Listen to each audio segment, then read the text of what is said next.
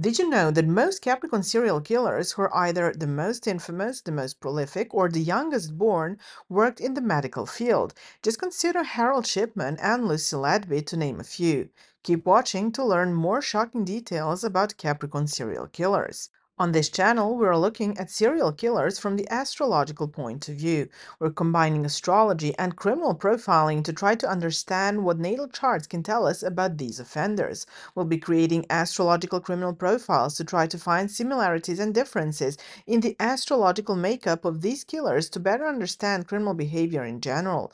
In order for someone to be classified as a serial killer, they must have killed at least three victims on separate occasions, which may be days, weeks, months, or even years apart. Some killers on our list have less than three confirmed victims, but more than three suspected victims, and they will also be included. Our lists include serial killers from around the globe who were born in the 19th and 20th centuries and whose date of birth data is available. While we're focusing on finding what made them tick from the astrological point of view, we must never forget their victims, victim families' pain, and the general death and destruction they have left behind. Before we start the investigation, please don't forget to like, share, and subscribe. Also turn on that notification bell so you never miss out on new videos.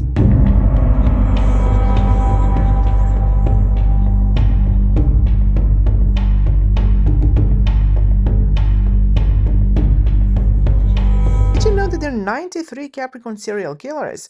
Now prepare yourself for the shocker. There are whopping 13 female serial killers. This is by far the highest number of female serial killers of any of the previous signs, three more than Virgo that was holding the record for the highest number of serial killers up till now. It's also interesting that only one female Capricorn serial killer was born in the 19th century, while the rest, that is 12 killers, were born in the 20th century, including two of the most infamous Capricorn serial killers, Dorothea Puente and Juana Barraza. On the other hand, out of the 80 male Capricorn serial killers, 5 were born in the 19th and 75 in the 20th century. We often assume that because of the sheer number of serial killers born in the 20th century that people in 19th century were somehow less violent or that there were no serial killers in previous centuries. This, of course, is not the case. The reason why we are seeing a drastically increased number of serial killers in the 20th century is because forensic and investigative methods got progressively better at catching the offenders. On the other hand, we should also have in mind that back then some behavior that we would consider violent now wasn't deemed as such, such as child labor, so our perception of what a criminal behavior is and the perception of our ancestors don't necessarily match. To better understand criminal behavior, I've assembled an international list of Capricorn serial killers, ensuring our examination remains unaffected by cultural, racial, or religious variables.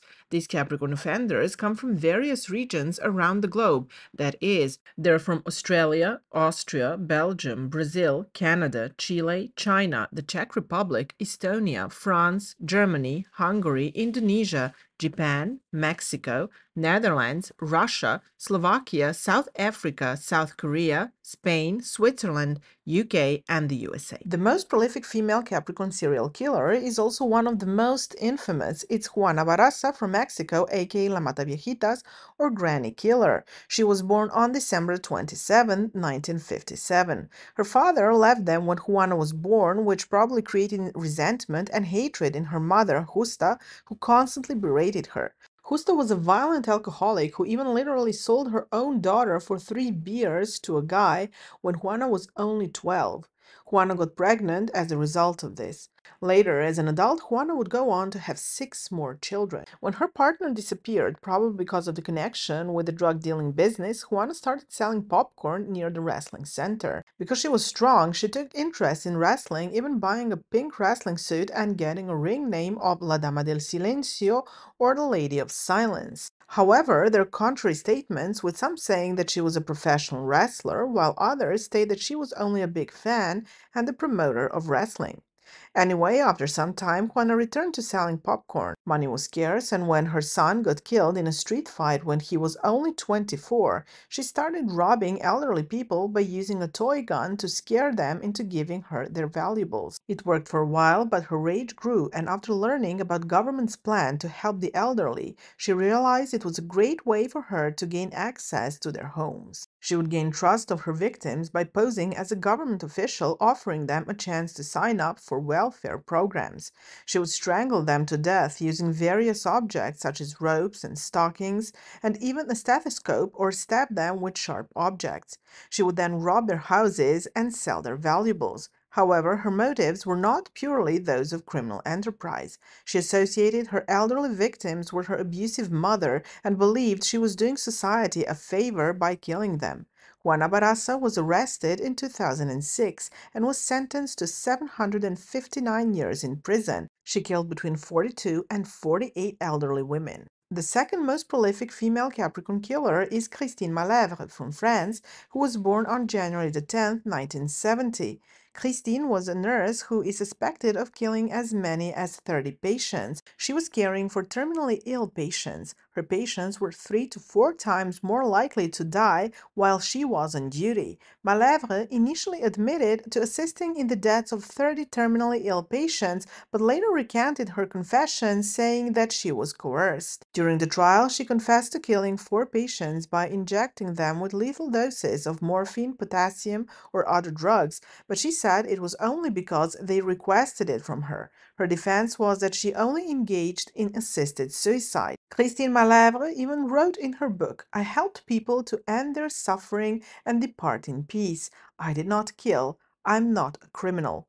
This puts her in the category of mercy medical killers. She reportedly had a morbid fascination with death and disease. She was sentenced to only 10 years for killing six of the seven patients she was accused of killing. She is also permanently banned from working as a nurse. The most prolific male Capricorn serial killer is Niels Högel, who we mentioned briefly in the video about Virgo serial killers. Högel was born on December 30, 1976 in Germany. He was a nurse who killed at least 85 but possibly 300 patients, which would make him the most prolific killer in German's peaceful history. Reportedly, Högel had a normal childhood unlike most serial killers. As it happens with medical killers, hospitals he worked at recorded an unusual spike in resuscitations and deaths during his shifts. Interestingly, when he took a medical leave himself, the number of medical emergencies dropped drastically. He was held in high regard by his colleagues, and even the director of nursing praised him in her recommendation letter,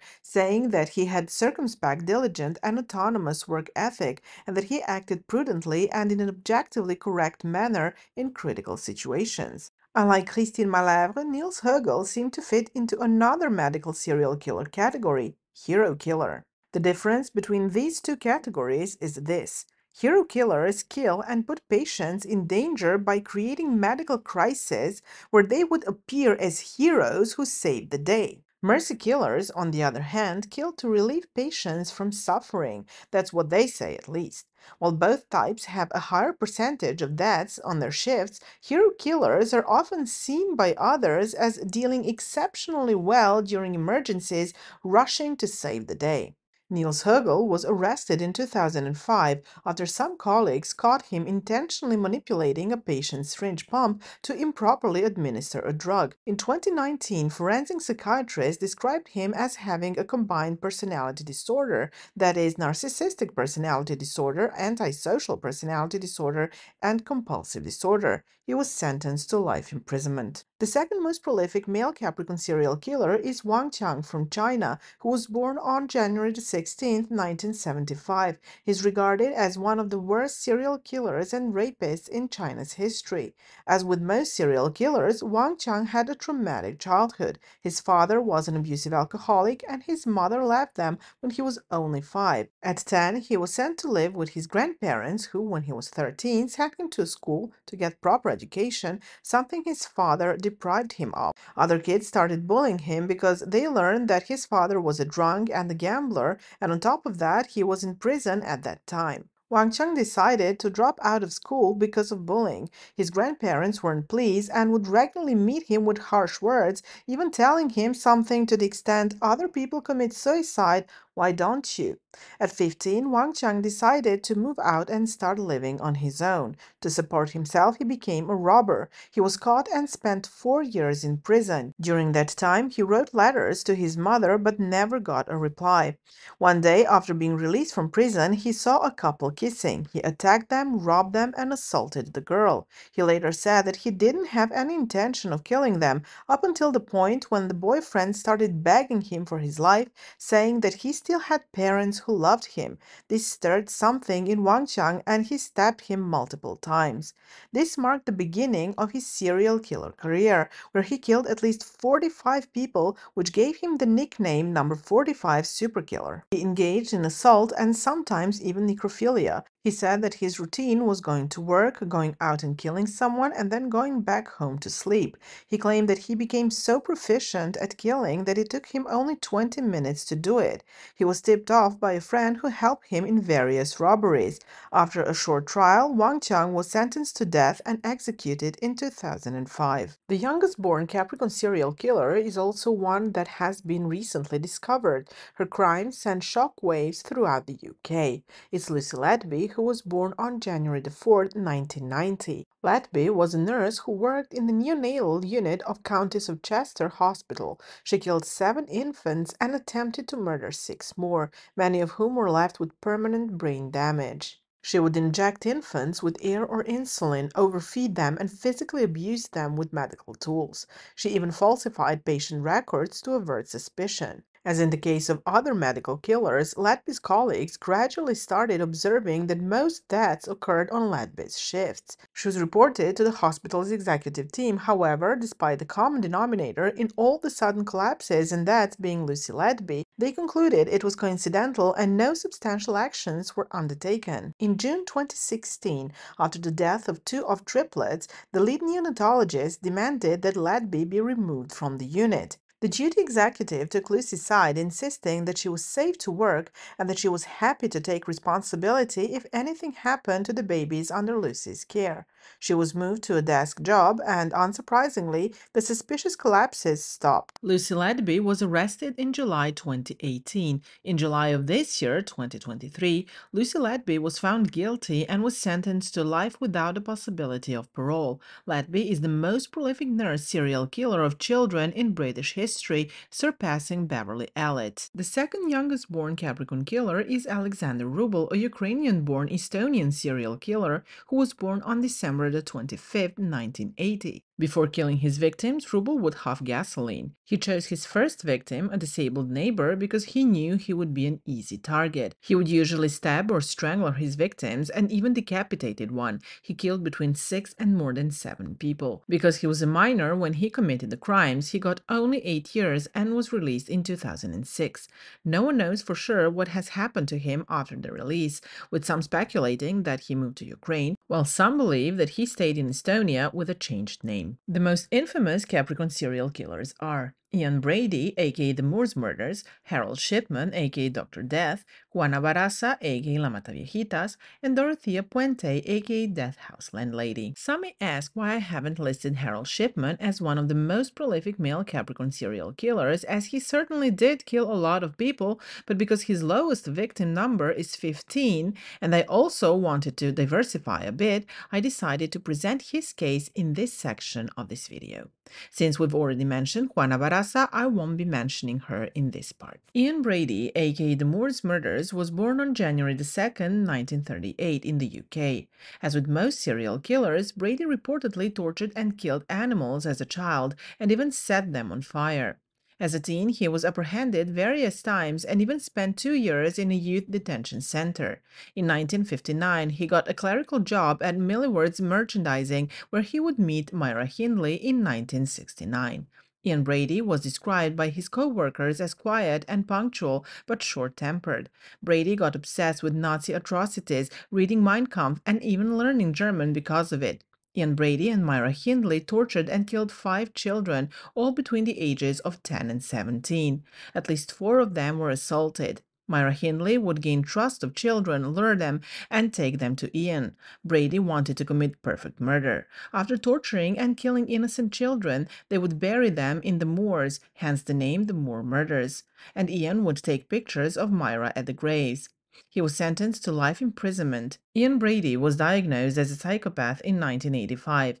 He died in 2017. Harold Shipman, aka Dr. Death, was born on January 14, 1946, in the UK. He was a general practitioner and probably one of the most prolific serial killers in history, with estimated 250 victims. As we've said, it takes much longer to detect medical serial killers because they operate in an environment where death is not uncommon. These types of killers usually take care of the most vulnerable population infants, children, elderly, and terminally ill patients. Harold Shipman's victims were the elderly, and he would be considered mercy killer who wanted to give his patients unwanted, peaceful, and dignifying death. Reportedly, Shipman was very close to his mother, who died of lung cancer when he was 17. This left a lasting scar on Harold's psyche, as he would later administer diamorphine or heroin to his victims, much like he saw doctors administer morphine to his mother in the later stages of her disease, which made her pain subside. He would usually kill his elderly patients in their home homes and made them look like they died peacefully in their sleep while sitting in their armchair or relaxing on the couch. Apart from the abnormally large amount of patients dying after Shipman's visit and the large number of cremation forms he had asked to have countersigned, what caught attention was that people don't normally die peacefully reclined in their armchairs, while some who are lucky do die in such a dignified way. Many who die of natural causes, such as old age, are found in a variety of positions conditions, such as when they collapse on the floor and so on. The exact number of Shipman's victims is unknown, and he was charged with the murder of only 15 victims. In 2000, he was sentenced to life imprisonment without the possibility of parole. He hanged himself in prison on January 13, 2004, one day shy of his 58th birthday. Dorothea Puente, aka the Death House landlady, was born on January 9, 1929, in the USA. She ran a boarding house in California and killed nine of her tenants so that she could cash in their state and federal checks, which put her motives into criminal enterprise category. Like most serial killers, Dorothea Puente already had a lengthy criminal history before she ventured into killing people. She was first arrested in 1960 for owning and operating a bookkeeping bookkeeping firm as a front of a brothel in Sacramento. After her divorce from her last husband, Roberto Jose Puente, she focused on running a boarding house for homeless people. She portrayed herself as a caring landlady. She would put on vintage clothing, wore large granny glasses,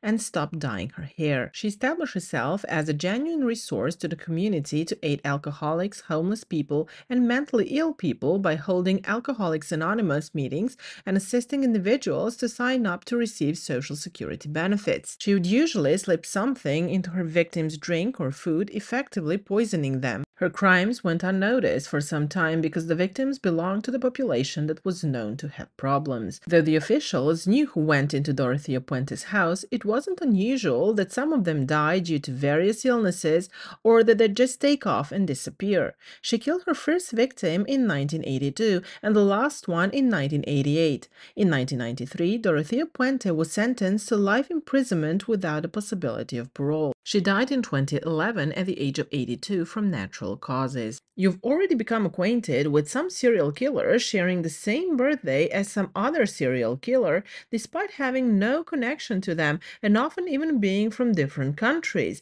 We call them astrological twins or astro twins. There are three sets of Capricorn astro twins. The first set of Capricorn astro twins consists of Gen Sekine from Japan and Juraj Luptak, aka the Strangler from Banska Bystrica, from Slovakia Slovakia who were born on January 2, 1942. Gen Sekine and his wife Hiroko Kazama, an Aquarius, were dog breeders and swindlers from Japan who killed at least four clients. Sekine was famous for breeding Alaskan Malamute and Siberian Huskies. He is known to have swindled customers by stealing dogs he had sold and selling them to other clients. Reportedly, he even poisoned the dog of one of his clients in order to sell him a new dog. Sekine would privately brag about committing a perfect murder and that if there was an Olympic event for killing, he would get the gold medal. Sekine followed a set of five rules which he called his murder philosophy. First, kill those who are not good for the world. Second, do not kill for insurance purposes, as you will get caught. Third, kill the greedy. Fourth, it is important not to shed blood. Fifth, the most important thing is to make the body disappear. Both Sekine and Kazama were sentenced to death, though Sekine died of multiple organ failure on death row prior to execution in 2017. Hiroko Kazama remains on death row. Yuri Luptak, aka the Strangler from Banska Bystrica, was a Slovak rapist and serial killer. He was brought up in an orphanage. When he was 17, he started drinking heavily, which led him to having problems with law, such as engaging in theft and such. He committed his first murder when he was 36. The body of Elena Adamova was found a year later. Shortly after the murder, Luptak was arrested for tax crimes and was imprisoned for several years. After being released from prison in 1982, he continued assaulting and killing women. The autopsy of the second victim, 15-year-old Lydia Rydlova, showed that she was buried alive, but Luptak claimed that she was most certainly dead when he buried her. Yuri Luptak killed a total of three women. He was sentenced to death and was hanged in Bratislava in 1987. The second set of Astro twins consists of Donald Gene Miller, aka the East Lansing serial killer from USA, and Tony Abels, also from USA, who were born on December 28, 1954. Donald Gene Miller, aka the East Lansing serial killer, grew up in a loving middle-class family, unlike most serial killers. While in high school, Miller met a girl named Martha Sue Young and the two fell in love. In late 1976, Donald proposed to Martha and she accepted. However, shortly after, she broke off their engagement and their relationship, which enraged Miller so much that he assaulted and killed her, making her his first victim. They sent him on a path of a serial killer. Miller went on to kill three more women. At first, he was convicted to only 15 years in prison with the possibility of parole after 10 years. This is due to mostly circumstantial evidence. After the discovery of the shoelaces that could have been used as a murder weapon, Miller was sentenced to additional 40 years with the possibility of parole after 20 years. If he serves out his sentence in full, his projected release date is on March 24, 2031. Tony Abels committed his first murder when he was only 15 when he killed a man during a robbery. He was sentenced to life imprisonment a year later, but after serving 12 years, he got paroled in 1983 and got a job as a construction worker. Five months after his release, he broke into an apartment of an 83-year-old lady. He suffocated her with a pillow and then robbed the apartment. On Valentine's Day in 1987, Abels killed his girlfriend. Despite being her boyfriend, boyfriend and having a criminal history. Tony Abels wasn't arrested as a suspect at that time. In 1990, he got drunk and killed his new girlfriend after an argument. This time, police arrested Abels on the spot. While it is known that he killed four people, there is a strong possibility that he was involved in other killings as well. He was first sentenced to death in the electric chair, but two years later, his sentence was commuted to life imprisonment. The last set of Astro twins consists of Erasmo Moena, aka the psychopath of Placilla from Chile, and Christine Malèvre from France, who were born on January 10, 1970. Since we've already talked about Christine Malèvre's case, I won't be mentioning her in this part. Erasmo Moena, aka the psychopath of Placilla, El Psicópata de Placilla, is a murderer and a suspected serial killer from Chile. According to his mother, he never suffered any abuse while growing up, though she said that he performed poorly at school. He was treated as an outcast by his peers due to his macho and hypersexual attitude. Moena once threw himself out of the moving bus and hit his head against the pavement as part of a game played by him and his friends. During his school years, he was found guilty of several robberies and was expelled. When he was 20, Erasmo Moena committed his first serious robbery. He then became friends with a 27-year-old hairdresser, Marco Antonio Cortés, who moved in with him. Some say that the two were in an intimate relationship, but Moena has denied those claims. On August 27, 1991, Moena murdered Cortés and dismembered his body together with a group of friends, setting it on fire and threw the remains into the Itata River. He later admitted to the crime to a partner who turned him in to the police, but because the body was never found, he was acquitted of all charges. In 2007, he raped a woman in Mulchen. He was sentenced to three years in prison, and when he was released in 2010, he assaulted a 10 year old at the bus terminal. The same year, Erasmo Moena killed a 36 year old woman who answered his newspaper ad. Six hours after killing her, he was contacted by this woman's friends who demanded to know where she was. Moena lured her into a forest and killed her. He was sentenced to 61 years and 176 days imprisonment. As you can see, evil is not restricted to only one culture, one country, or one part of the world. There is evil in every country and every culture, and here we are trying to analyze it so that we can detect it and prevent it in the future. Now let's dive into astrological profiling. Out of the 93 Capricorn serial killers, and you can find the full list in the description box, we'll focus on the planetary positions of the ones mentioned today. In this video, we'll be focusing on the Sun, Moon, and personal planets, Mercury, Venus, and Mars. The rest of the planetary positions, including asteroids like Chiron, will step into the spotlight when we explore major aspects later. Since ascendant data is a rarity, it won't be included, which also means we won't be looking at the houses. Let's start with Moon, a planet that reigns over our emotions, intuition, instincts, and emotional responses. Some astrologers even argue it's more important than the sun in influencing our daily lives. Quick note the moon changes sign roughly every two and a half days. Since we lack precise birth times for most serial killers, there might be instances where their moon sign falls in one of two neighboring signs. Further analysis in subsequent videos will give us a better understanding of which of the two moon signs is more likely to be correct than the other based on the characteristics of the crimes committed. Most Capricorn serial killers have moon in Aquarius and Pisces, 8 each. Moon in Aquarius is intellectual and a bit funky. They like everything that is odd and pride themselves for being unique. Moon in Aquarius is on the same axis as Leo Moon after all, meaning that the core energies are similar, but they're displayed in opposite ways. Moon in Aquarius is independent and aloof. They're not very emotional, though they may appear to understand emotions because they're usually friendly. A Capricorn Sun Aquarius Moon is someone who appears laid back but have a calculating mind. However, they're also eccentric, which can, in the long run, make them sloppy. Donald Gene Miller and Tony Abels have Moon in Aquarius. Moon in Pisces natives are the embodiment of sensitivity and of emotions running deep. They're romantic, which mellows down Capricorn's coldness.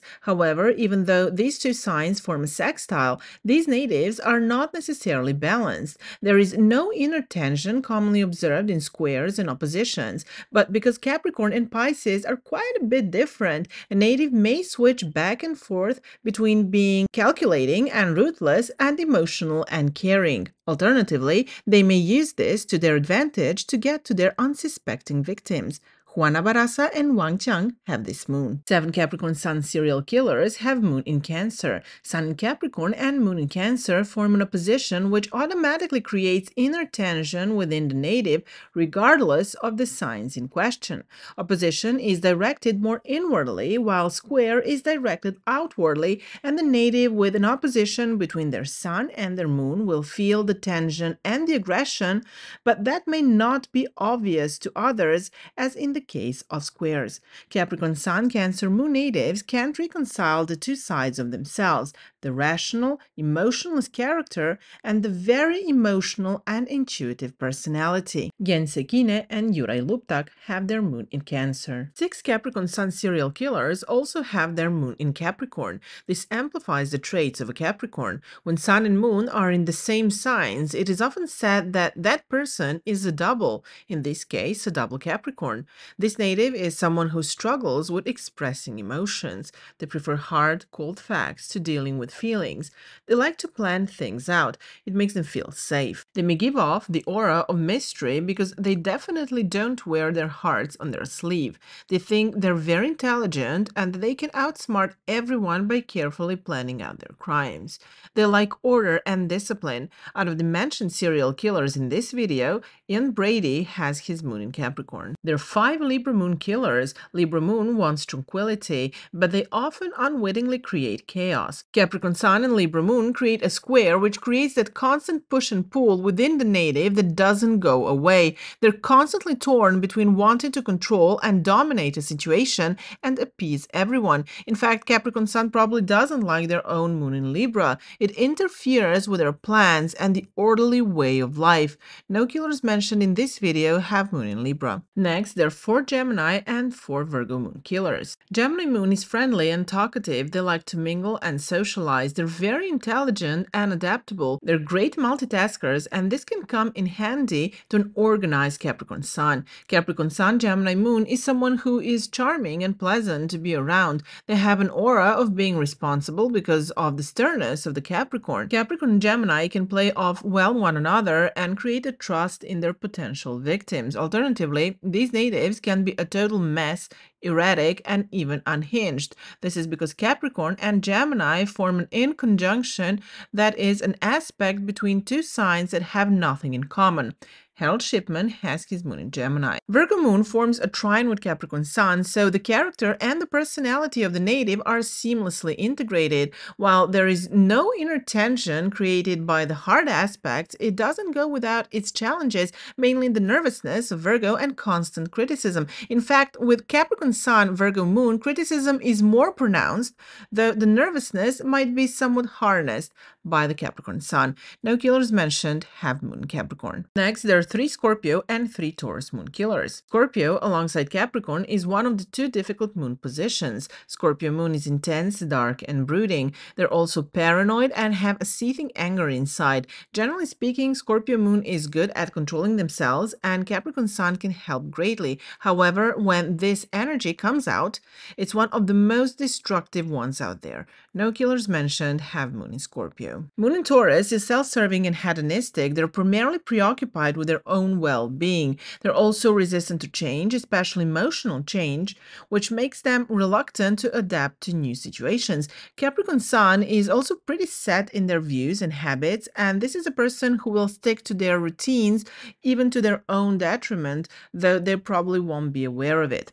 No killers mentioned have this moon. Next, there are two Aries and two Leo moon killers. Aries moon forms a square with Capricorn sun. These natives' personality and character, their wants and needs clash a lot. This is someone who is organized and methodical, but whose emotions run high. They're prone to emotional highs and lows, and they're also impulsive and impatient. They don't usually think before they act, which is in stark contrast to how a Capricorn wants to live their lives. This creates inner tension that's difficult difficult to resolve and control.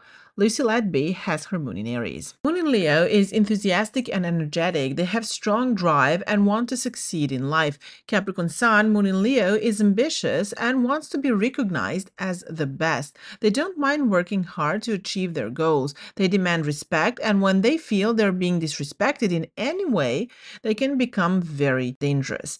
Alexander Rubel has his moon in Leo. Finally, there is only one Sagittarius moon. This moon is fun-loving and easygoing. They have a pleasant disposition and are usually energetic and fun to be around. Sagittarius moon can blend well with Capricorn sun, however strange that may sound. It mellows down Capricorn's sternness and makes them look more approachable. This can be especially advantageous for serial killers who hide in plain sight.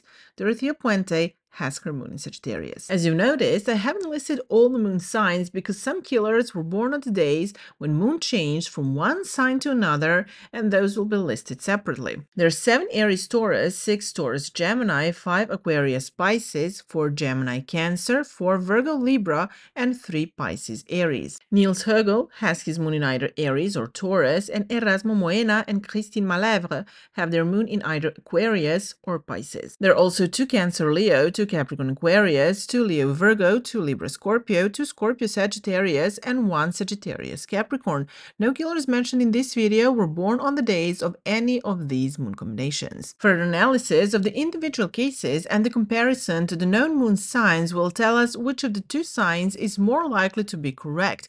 This might, of course, alter the existing statistics of serial killer moon signs, but in subsequent videos we'll see how much and in what direction. The next planet we're going to analyze is Mercury. Mercury is important to understand as it governs how we think and how we communicate with others. Mercury can only be in three signs, the sun sign of the native, one previous, and one subsequent sign. In the case of Capricorn natives, it can be in Sagittarius, Capricorn, and Aquarius. There are 59 Capricorn, 22 Sagittarius, and 12 Aquarius Mercuries. Mercury in Capricorn is methodical and organized. They're ambitious and goal-oriented. They like to analyze situations and plan out their moves. They don't let emotions get the best of them. These natives are practical but also quite stubborn. They don't get easily swayed and have very strong opinions. They're notoriously judgmental of others while failing to see their own shortcomings. Majority of Capricorn Sun serial killers also have Mercury in Capricorn. Donald Miller, Tony Abels, Erasmo Moena, Christine Malèvre, Niels Högel,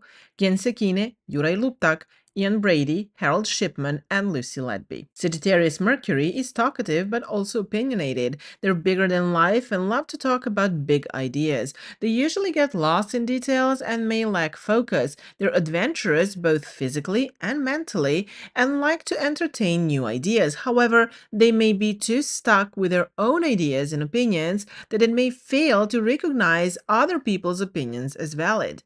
Alexander Rubel has his Mercury in Sagittarius. Mercury in Aquarius is talkative and friendly, however, their communication style often has elements of forgetfulness. They remember only what they're interested in, and one may question if the native was listening to them at all, especially because they may repeatedly ask the same question even after being told the answer on multiple occasions. They may make people comfortable around them because they're good at putting people at ease. Because of their aloofness, they may give out the aura of wisdom. Juana Barraza, Wang Qiang, and Dorothea Puente have this Mercury. The next planet we're going to analyze is Venus. It is a very important planet, especially for our study. Venus is the planet of beauty, aesthetics, charm, and above all, relationships. In a male chart, it indicates what kind of person the native finds attractive, while in the female chart, it tells how the woman flirts.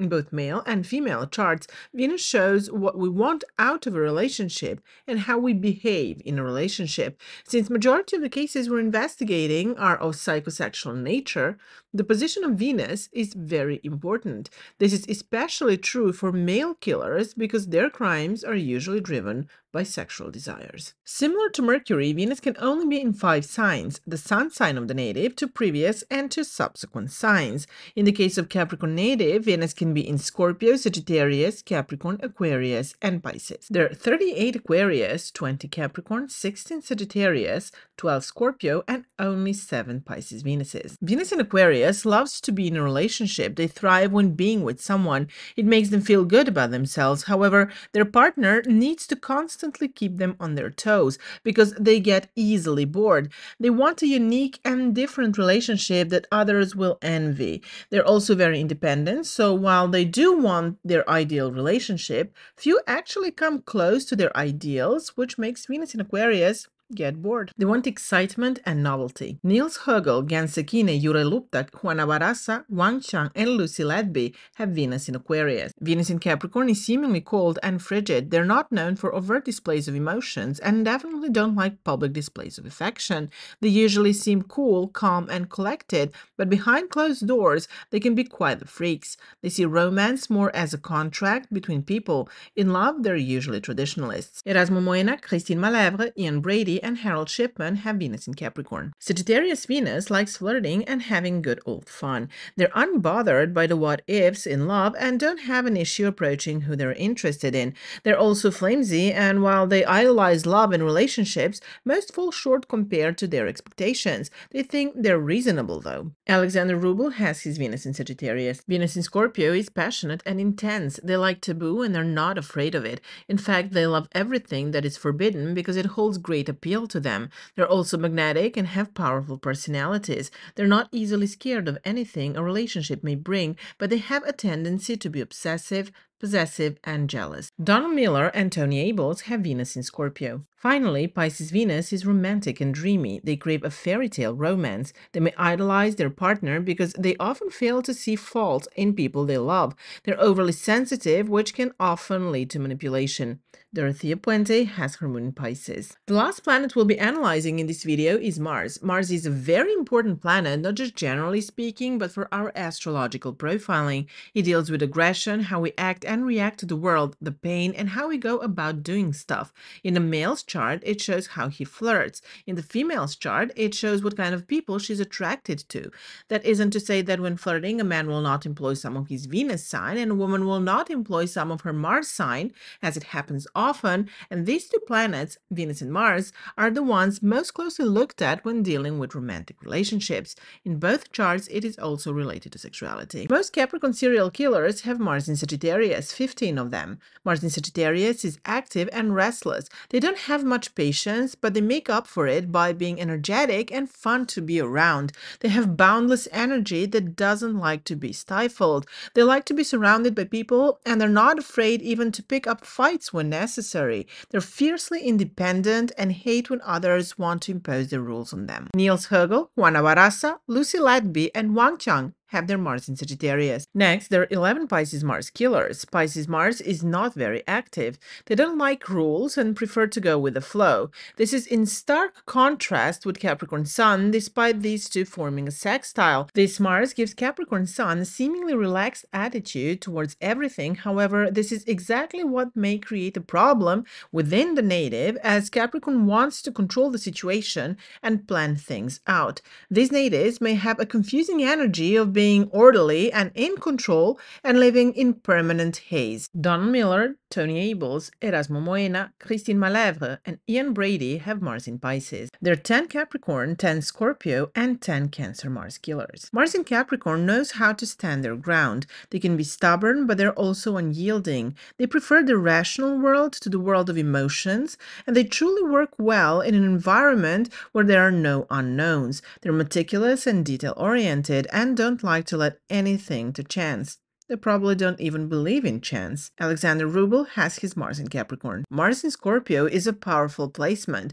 These natives are intense. Because Scorpio is a fixed sign, when they commit to something or someone, they usually commit for life. This is why they don't take well any type of betrayal and often resort to vengeance. This placement is both very destructive and self-destructive. Their obsession often leads to their own demise, and even though they may be aware of it, they're unable to let go. No killers mentioned in this video have this Mars. Mars in Cancer is a difficult position. The aggressive and assertive Mars is in the sign of the sensitive, shy, and emotional Cancer. While both males and females have it hard with Mars in Cancer, it hits men harder than women because men are traditionally expected to take on a more assertive role. This is why Mars in Cancer natives are notoriously passive aggressive. Now, add to that that Capricorn Sun forms a square with this Mars, and it just adds to the pressure pressure, the external pressure created by society and internal pressure of a Capricorn sun that doesn't feel comfortable with the lack of emotional control of their own Mars in Cancer. Harold Shipman has his Mars in Cancer. Next on the list, we have Mars in Aquarius, nine of them. Mars in Aquarius is visionary but also erratic. They want to achieve something grand that will be to the benefit of society, but when they don't, they can become bitter. They like to be seen as eccentric. This native is someone who is full of surprises because while they may appear to be traditional because of their Capricorn character, they may often switch between their more traditional side and their totally eccentric side. No killers mentioned have this Mars. There's six Gemini, six Virgo, and six Aries Mars killers. Mars in Gemini is talkative and likes to use their words as weapons. They know how powerful words are and know how to use them properly to get what they want, either by coercing someone to do what they want, manipulate others, or even taunt police and media with letters and phone calls. A Capricorn Sun may appear friendlier than they actually are, which is something a killer may use to their advantage. Dorothea Puente has her Mars in Gemini. Virgo Mars is a bit shy and reserved, but they're meticulous and analytical, which goes well with Capricorn Capricorn Sun. They also like to plan out things and definitely don't like to go with the flow. They can get super anxious if their plans don't go as planned, and this can even stop them in their tracks. However, because Virgo is a mutable sign, it's easier for them to adapt to situations, so they will not be too stubborn about having their way. No killers mentioned have this Mars. Aries Mars is assertive and a true go-getter. When they want something, they want it now. They're not known for their patience. They can be very persistent as they don't understand why things wouldn't go the way they want and when they want. Usually when they want something, they want it now. We've already established that Capricorn and Aries form a square. This creates a tension within the native between their character and how they act and react. Capricorn Sun would want everything to be methodical, but their Aries Mars urges them to make fast decisions. Astro twins Gen Sekine and Juraj Luptak have their Mars in Aries. They're four Libra and four Taurus Mars killers. Libra Mars is indecisive. They like to weigh pros and cons to every situation, and oftentimes it takes a long time to do that in order to make an informed decision. While it suits Capricorn Sun to take things slowly, Libra Mars takes it to a whole other level. This trait can make them passive aggressive. No killers mentioned have this Mars. Taurus Mars doesn't like to make much fuss about anything unless it's completely necessary necessary. They know what they want and don't mind waiting. They prefer routine and predictability. They have a tendency to be lazy because of this reluctance to change to something. No killers mentioned have Mars in Taurus. Finally, there are two Leo Mars killers. Leo Mars wants to be praised for their actions. They're energetic and enthusiastic and can easily get fired up. They hold a lot of pride in what they do and will get offended if they perceive the other person is not giving them the recognition they believe they deserve. No killers mentioned in this video have Mars in Leo. What have we learned so far? Capricorn serial killers are usually good at approaching their victims. They're usually meticulous and dedicated to committing the perfect crime. Capricorn serial killers who are either the most infamous, the most prolific in either male or female categories, and the youngest born usually work in the medical field and are thought of as caring and responsible individuals, which makes it difficult to see them as a real threat, at least for some time. Stay tuned for more astrological profiling videos.